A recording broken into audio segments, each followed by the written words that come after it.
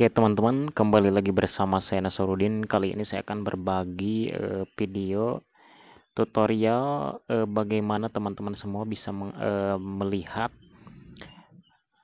uh, histori transaksi tiap bulannya. Apakah saham yang teman-teman jual itu rugi atau mungkin untung ya?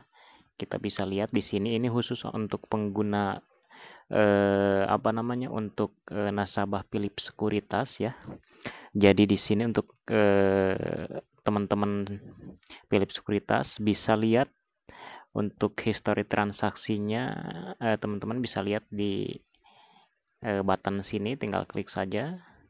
Selanjutnya di sini teman-teman tinggal klik yang rilis profit di sini. Nah, untuk rilis profit teman-teman jadi di sini tidak ada transaksi, teman-teman tinggal klik current mon di sini. Nah, jadi teman-teman lihat uh, histori transaksi mulai uh, bulan Februari 2000 uh, eh, mulai bulan Maret 2017 sampai Februari 2018. Kita cek di bulan Maret ya. Nah, ini di bulan Maret saya profit dari uh, Mas Murni Indonesia ya sebesar 18.435 itu saya e, buy di harga 86 dan saya sell di harga 99 dan ini untuk di bulan April untuk di bulan April tidak ada transaksi dan untuk di bulan Mei juga tidak ada transaksi di bulan Juni. Nah ini di bulan Juni saya kelabakan ya kurang prediksi di sini kurang ya intinya teman-teman harus belajar analisa teknikal ya. Jadi sering-sering ikut uh, di grup telegram atau mungkin yang kalau misalkan paling baik lebih baik di ikut-ikut seminar begitu. Atau mungkin ada komunitas-komunitas teman-teman bisa belajar ya untuk uh, supaya tidak terjadi seperti saya ini saya ini membeli sebuah uh, saham dengan kode MAMI dan PPRO itu untuk MAMI saya buy di harga uh, 65 dan saya sell turun di harga 53 nih sebenarnya ini di hold pun bisa ya cuma karena prediksi saya kurang tepat begitu. Dan untuk PPRO saya di, uh, buy di harga 232 dan saya sell di harga 228 ya. Dan itu kerugiannya sekitar 66.000 ya. 66.000 dan kita cek ini untuk di bulan Agustus ini tidak ada transaksi untuk di bulan September. Ini di bulan September pun saya rugi sekitar 2000 ya. Itu untuk pembelian saham PPRO buy 218 sell 208 dan untuk eh, di bulan Oktober sendiri ini saya profit eh, dari Bumi Resort ya.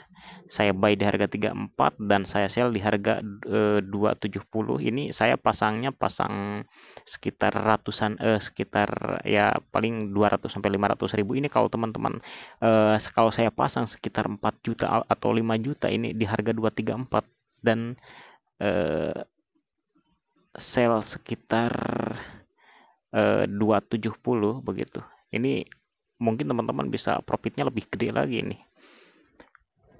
Dan kita lihat di bulan uh, November itu di bulan November saya buy di harga 260 dan saya sell di harga 286 itu total profitnya sekitar uh, eh, 2600 ya.